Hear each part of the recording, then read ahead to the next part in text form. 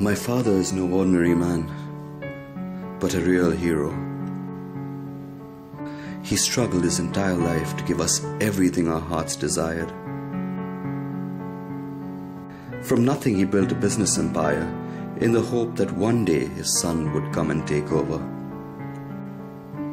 That was his dream. But then I told him my dream.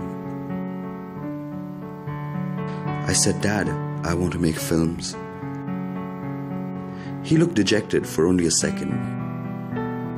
And then almost instantly, he burst into a wide smile and said, That's great, son.